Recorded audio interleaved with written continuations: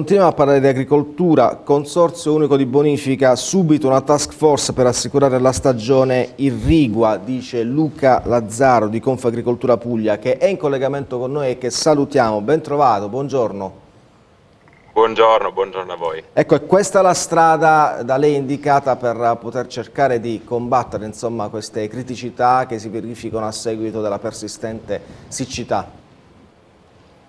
Sì, purtroppo sul consorzio di bonifica del centro-sud Puglia che assorbe i quattro consorsi di bonifica pugliesi del, appunto del centro-sud della Puglia è eh, partito in ritardo su questa stagione irrigua, eh, sconta una carenza di programmazione non solo nel, di breve durata e quindi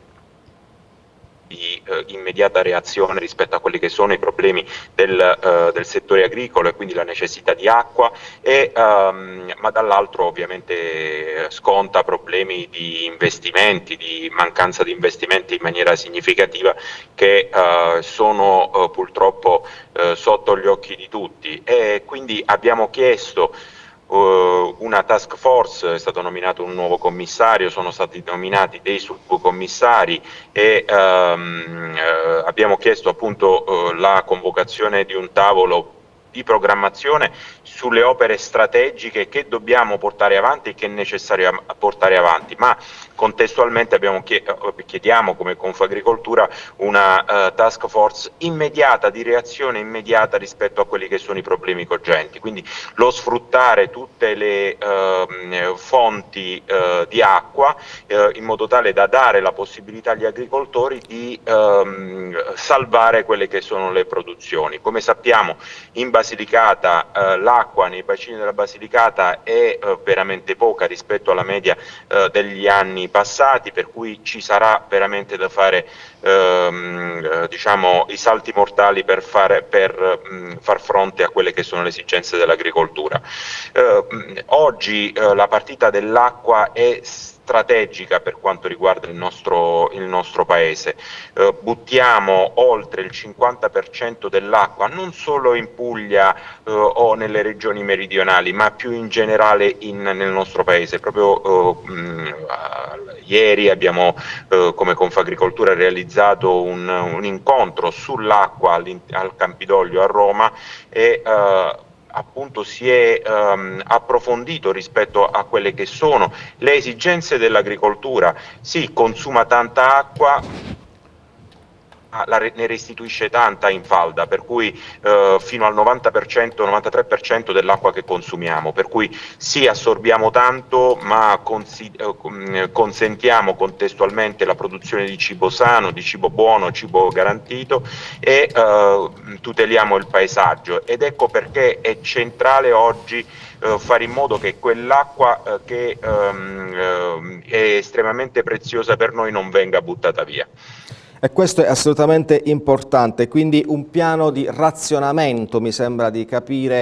eh, da parte di questa potenziale task force, anche perché i numeri a cui lei faceva riferimento nel 2023, rispetto al 2023 negli invasi, cioè nelle, nelle varie dighe che poi forniscono acqua alla, anche alla regione Puglia c'è il 23%, c'è il 46% eh, di acqua in meno, quindi insomma è una situazione davvero, davvero molto critica. Queste discussioni sono su tavoli anche nazionali, Presidente? Eh sì, come dicevo, ovviamente um, Confagricoltura ha messo al centro questa, la tematica dell'acqua. Io quando ho iniziato a fare il presidente di Confagricoltura Puglia eh, sei fa, quasi sei anni fa, eh, ho, messo, eh, ho dedicato la mia presidenza all'acqua, lo abbiamo posta al, al centro della, dell'agenda politica, abbiamo chiesto di metterla al centro dell'agenda politica del presidente Emiliano eh, e gli abbiamo fatto firmare tra l'altro un contratto con gli agricoltori proprio mettendo al primo punto eh, il, la, la, questione dell'acqua. Purtroppo non sono stati fatti investimenti in questa direzione, eh, l'acqua che viene, ehm, eh, che viene buttata a mare è ancora tantissima, per cui bisogna fare in modo che tutta l'acqua eh, che eh, abbiamo nella nostra regione, nella Puglia, sia utilizzata sia eh, riutilizzata. Eh, e, e, su questo ovviamente noi chiediamo proprio nell'immediato la creazione di questa task force sì per razionalizzare e quindi ottimizzare i consumi ma anche far fronte a uh, fonti um, che ci sono e che magari non vengono utilizzati, per esempio il fiume Tara, per esempio il fiume uh, Lato, uh, che oggi vengono utilizzati parzialmente e che eh, con un impegno appunto di una task force operativa si può eh, far fronte a quelle che sono le, le, emergenze di una parte della nostra regione. Eh, gli ho citato solo due fonti irrigue che sono nella provincia di Taranto, eh, eh, ma su questo ovviamente si può eh, far fronte a 360 gradi, per esempio utilizzando i depuratori,